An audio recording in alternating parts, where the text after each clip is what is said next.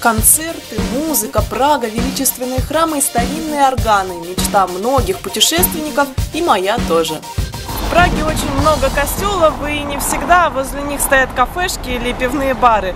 В этих костелах, в каждом из них, есть свой уникальный старинный орган, который действует до сих пор, работает, играет. И в каждом храме проводят свои концерты в разное время, за разные деньги. И вот сегодня мы пойдем на один из таких органных концертов в храм Святого Николая на Малостранской площади. Пока еще не потемнело, мы успеем послушать орган, который, говорят, помнит еще руки Моцарта. Послушать концерт, органный концерт в старинной церкви, что может быть романтичнее?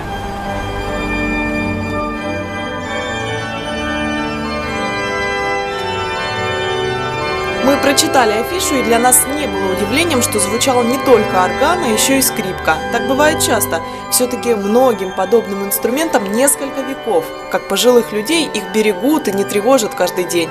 В храме святого Николая большой орган так и не заиграл. Но сложно сказать, что два других не впечатлили.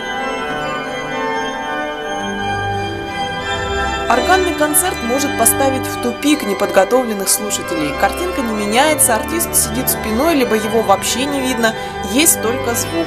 А в этом храме еще и невероятная акустика, благодаря которой музыка шла впереди и вела за собой, настигала сзади и окружала со всех сторон.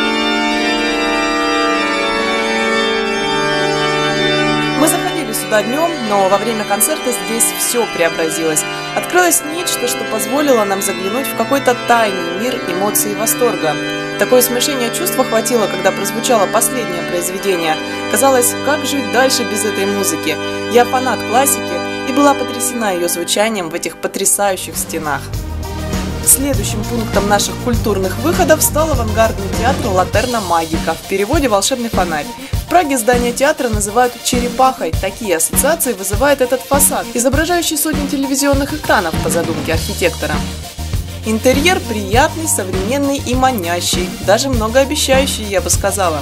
Кожаные кресла, очень удобно сидеть. Но вот само представление меня не очень впечатлило. Самым интересным, что происходило на сцене, было движение красной розы в темноте и некоторых других предметов. А вот непосредственно характерная черта театра, совмещение кино и сцены, а также переход героев на экран и с экрана, мне показалось все это реализовано не на самом высоком уровне. Идея хорошая, но как-то все два часа казалось, будто ты что ли в любительском театре. Ну а может со спектаклем просто не повезло. А после театра можно еще успеть и на поющие фонтаны. Правда, мы ходили на все эти представления в разные дни, хоть по времени при желании вполне реально совместить их в рамках одного.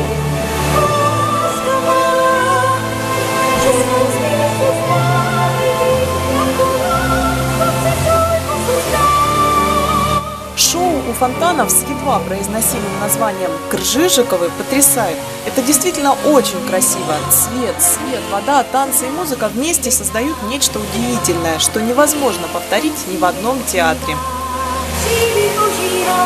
Мы смотрели постановку «Тристан и Изольда». История рассказывалась на чешском, как и все произведения на этой сцене. Но языкового барьера не возникло, все было понятно. Такой вот силой обладает искусство.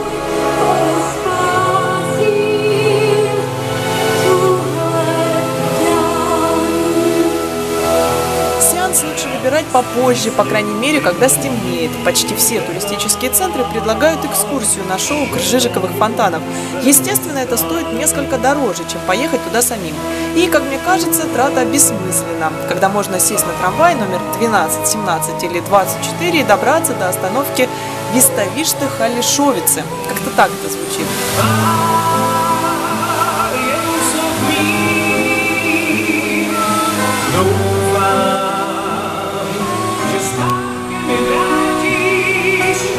Недалеко от нашей гостиницы была остановка трамвая номер 24. Доехали где-то за полчаса. Здание выставочного центра увидели сразу. А вот фонтаны пришлось поискать.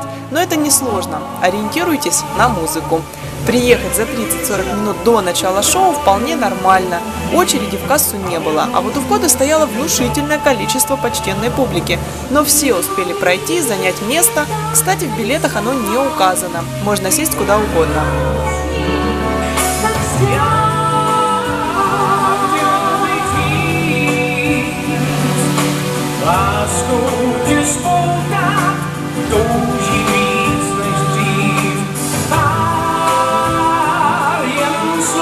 Кржижиковы фонтаны в Праге считают такой же весомой достопримечательностью, как Эйфелеву башню в Париже.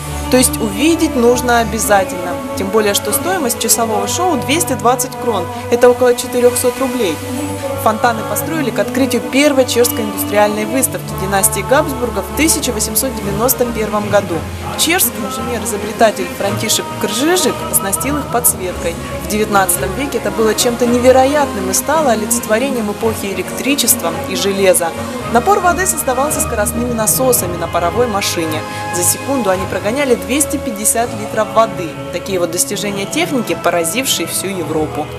После выставки фонтаны замерли почти на 100 лет. В 1991 году их реконструировали, оснастили компьютерным управлением, и они снова запели и затанцевали.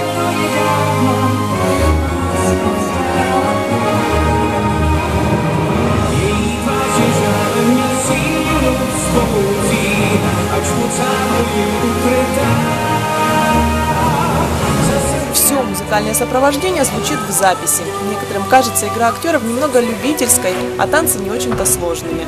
Но если после шоу на выходе вы посмотрите на сцену, то увидите, что вся она залита водой.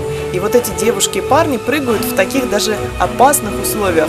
Это если придираться. Ну а в целом представление впечатляет. Все время хочется снимать, правда видео не передает реальность. Так что лучше убрать фотоаппараты и камеры подальше и наслаждаться таким необычным спектаклем.